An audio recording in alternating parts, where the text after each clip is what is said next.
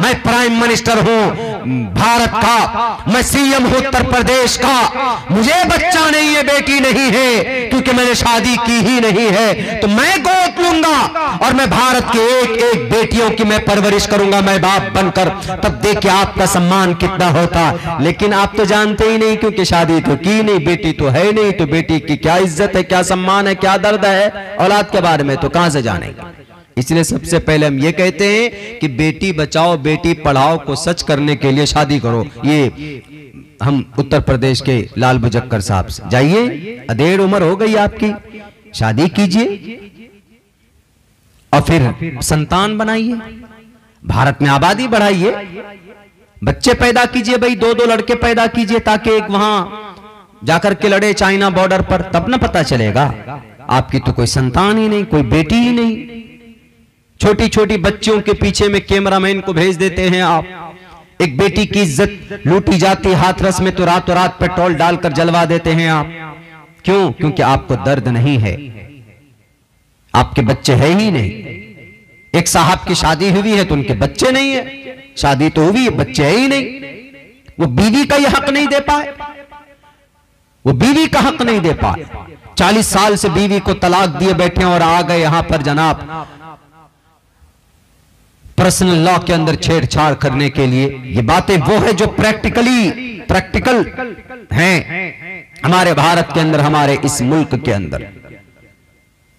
आज भी चाइना में, आज भी क्रिश्चियनिटीज में, आज भी जोडाइज्म में, जोडाइज्म यहूदी औरत को क्या समझते हैं पता है आपको? औरत को समझते हैं कि ये शैतान की आत्मा से औरत बनती। शैतान मरता है, उसकी आत्मा से, उसके रूह से औरत बनती। तो क्या करना चाहिए? तो यूज़ इन थ्रू इस्तेमाल करो, उठाकर फेंक दो औरत को। पूरी ज़िंदगी मोहम्मद रसूलुल्लाह की रिसर्च करो उसके ऊपर। एक साल के बाद तुम ही चीख चीख कर कहोगे कि इस्लाम इज़ अ ट्रूथ इस्लाम सबसे बेहतरीन मज़हब है। इसमें ओलामा की कोई गलती नहीं। वो बेटियों को नहीं कहते, औरतों को नहीं कहते कि तुम सेल पैक हो जाओ, बल्कि अल्लाह का फरमान, या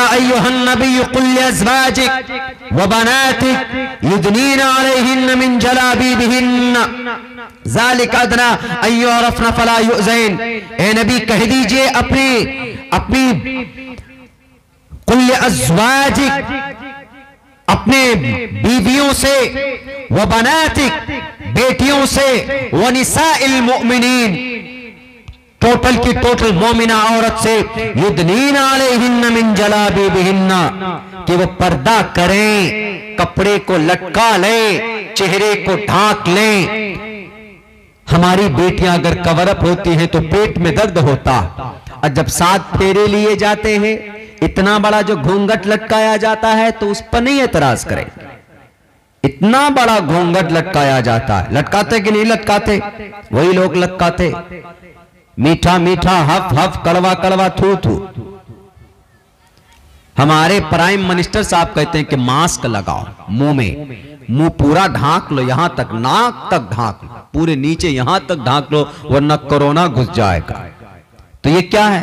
ये कवर अप नहीं है। सिर्फ़ उसमें इतना होता है कि बालों को ऊपर से ढांक लेती ऐसे करके स्कार्फ से बाँध लेती। बिहार के सीएम ने, चीफ मिनिस्टर नीतीश कुमार ने तो कहा कि इस पे तो कोई झगड़ने की बात ही नहीं है, क्योंकि मास्क लगाने के लिए तो हम ही लोग बोलते हैं, और बच्चियाँ लोग ऊपर से कपड़े डाल लेती है तो इसमें तो कोई लड़ने की बात नहीं। यकीनन सही बात कही उन्होंने। लेकिन नहीं, यहाँ धार्मिक आईने से देख रहे हैं कि ये बच्चियाँ क्यों आएँगी जनाब कपड़ा पहनकर स्कूल में? हम भी आएँगे। पहनो हम एतराज़ कर रहे योगी आदित्यनाथ जी लाल पीले कपड़े पहनते हमने एतराज़ किया कभी? नहीं किया। नीले पीले पहने। देखे कि नहीं देखा आपने? कपड़े पहनते गेरवे रंग के, भगवा रंग के, किसी को एतराज़ नहीं। क्यों? भारत है। या पहनने की आज़ादी, खाने की आज़ादी, रहने की आज़ादी, इबादत की आज़ादी, हर चीज़ की आज़ादी। क्या जवाब दोगे भारत के संविधान के दफ़ा नंबर 26 को? Freedom to manage religious affairs अपने अपने धर्म के मुताबिक ज़िंदगी गुजार सकता। हम भी कहेंगे, नहीं जनाब, नहीं मानते हम योगी जी को। क्यों? क्योंकि ये लाल पीला कपड़ा पहना हुआ। एतराज़ करेंगे। उनके कपड़े देखकर हम अगर नारे तकबीर का सदा लगाएँ तो गलत होगा ना। उनके कपड़े को देखकर, भाई योगी जी को वही पसंद है, मोदी जी को दाढ़ी पसंद है। उनको दाढ़ी पसंद थी। कुछ दिनों के लिए दाढ़ी बढ़ा ली अभी छोटे कटवा लिए। कुछ दिनों के लिए रविंद्रनाथ टैगोर बन गए थे वो। तो अब हम अगर इस पर एतराज़ करें कि नहीं जनाब, दाढ़ी क्यों बढ़ाए वो?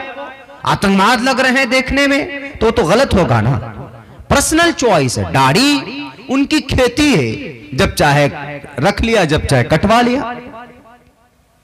ये कोई मुद्दा और मैटर नहीं सिर्फ़ ध्यान को भटकाने के लोगों से काटने के लिए। मैं पहले भी कह चुका हूँ यहाँ पर भी कह रहा हूँ समम का इशरो गिरीवा धार चलम।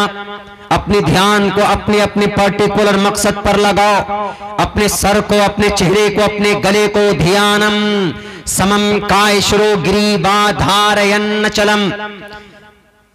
साफ़ साफ़ लफ्जों में स्थिरता, शांति के साथ सोचो इधर उधर की बात मत करो। अगर तुम्हें लगता है कि मुसलमानों ने उलमा कराम ने हमारी समाज की बेटियों को उनको पनपने, उनको बंद करने की कोशिश कर रहे हैं। तारीख उठाकर देख लो, औरत को जो सम्मान हमने दिया, औरत को जो इज़्ज़त हमने दी है, दुनिया के अंदर आज तक कोई माए के लाल ऐसा पैदा नहीं हुआ जिसने औरत को वो सम्मान दिया हो। याद करो ना उस तारीख को। बहुत पुरानी तारीख तो नहीं है। तुम्हारी सती वर्था से भी ज़्यादा खतरनाक कवानीन थे। रसम था। जमाने जाहिलियत में उससे पहले पहले।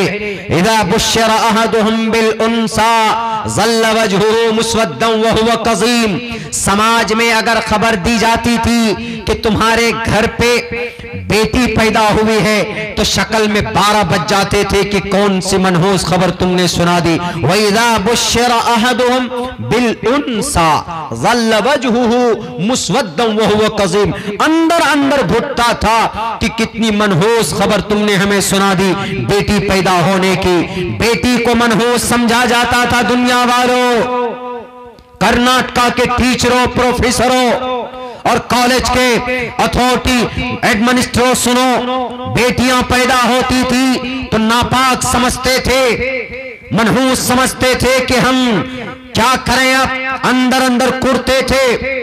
जल्लवजहू शक्ल में बारह हवाइयाँ उड़ने लगती थी, बारह बज जाते थे। कि इस खबर को कैसे छुपाए? ये तवारा मिनल कौमी। वैदा बुशर अहदुम बिल उनसा जल्ल वजहु मुस्वदम वह कजीम और फिर इस खबर की वजह से वो लोगों के सामने में ज़ाहिर करें कि ना करें क्या करें इस बेटी को रखें कि इसको ज़मीन में दफन कर दें। अला सामायहकुमून और बहुत बुरा करते थे वो लोग जो वो लोग फैसला करते थे। क्यों? क्योंकि आखिर में वो लोग इस नतीजे पर पहुँचते थे कि नहीं, इस बेटी को ज़िंदा नहीं रखना।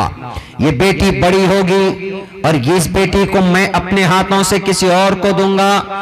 कोई और मेरी बेटी को लेकर जाएगा। इन तमाम चीज़ों को देखकर, समझकर, अपने आप के लिए बेइज्जती महसूस करते थे और फिर फ़ौरन उस बेटी को ज़िंदा दरगोर कर दिया जाता था। कबर खो दी मट्टी हटाया, दफन कर दिया। बाज मौके पर बेटी बड़ी हो जाती थी तो लेकर जाते थे किसी बागीचे में, किसी आम के बागीचे में, लीची के बागीचे में, केले के बागीचे में। खजूर के बागीचे में, वहाँ पर उस जमाने में खजूर का ज़्यादा वो था तो बयाबान चटियल मैदान में ले जाकर ज़मीन खोद कर बेटियों को उसमें ज़िंदा दर दफन कर देते थे। ये रिवाज था दुनिया वालों। किसने इस रिवाज को खत्म करवाया? है, तुम्हारे पास कोई जवाब जवाब नहीं दे सकते। इस बुरे रस्म को, इस बुरे रिवाज को अगर ज़मीन से किसी ने हटाकर उखाड़ कर फेंकने की अगर कोशिश की और मिटाया है तो प्रॉफिट मोहम्मद सल्लल्लाहु अलैहि वसल्लम है। आप सलाम ने इस बुरे रस्म को, इस बुरे कल्चर को मिटाकर खत्म कर दिया, लोगों को समझाया, लोगों को बताया कि ये औरत, इनको नापाक मत समझो। जब इनकी बशारत दी जाए तो खुश हो जाओ कि हमारे घर में बेटी आई है। और सुनो बेटियों को कत्ल करने से पहले याद रखो, अगर तुम्हारे घर में दो बहनें अगर तुम्हारे घर में दो बेटी या तुम्हारे घर में तीन बहनें, तीन बेटियाँ हो और तुमने उनकी अच्छी परवरिश की हो, अगर तुमने अच्छी परवरिश की और अच्छा उनका किरदार और कैरेक्टर तुमने बना दिया है तो कल कयामत में हम और तुम इस तरीके से खड़े होंगे, ये बशारत दी प्रोफेट मोहम्मद सल्लल्लाहु अलैहि वसल्लम ने। और यो कहा कि अगर कोई बेटी की तरबियत की वजह से परेशानी में मुबतला होता है, परेशान होता है, दिक्कत बर्दाश्त करता है। बेटी की परवरिश में, उसके ग्रोथ में, उसको पालने में। तो कुन्न लहू सितरम नार। अम्मा आयशा फरमाती है, अल्लाह के नबी का फरमान है कि जहन्नम से ढाल बनकर वो बेटी खड़ी हो जाएँगी। है कोई ऐसा? तुम्हारे पास पैगाम? है कोई ऐसी तारीख? नहीं, अठारह सौ छियानवे तक यही भारत की धरती पर औरत का ब्रेस्ट काटा जाता था। औरत का पिस्तान काटा जाता था। इसी धरती पर, भारत की इसी धरती पर अगर सबसे पहले किसी ने रोका था तो औरंगज़ेब बादशाह ने रोका था। इस सतीव्रथा को, उसके बाद में अगर किसी ने रोका तो फतेह अली खान टीपू सुल्तान ने रोका था कि नहीं, ये समाज की बेटियाँ जितनी इज़्ज़त एक बेटे की की जाती है, उतनी इज़्ज़त एक बेटी की भी होनी चाहिए। क्यों? इसलिए कि बिल मारूफ जो हक हुकूक इस ज़मीन पर मर्द के हैं, वही हक हुकूक एक औरत के भी है। इस धरती पर उनको नापाक मत समझो। मेरे भाइयों, हमारी तो तारीख भरी पड़ी। औरत के सम्मान से, औरत के एहतराम से अल्लाह के नबी सलाम एक मौके पर कहीं बाहर जंग में जा रहे थे। जंग उहद के बाद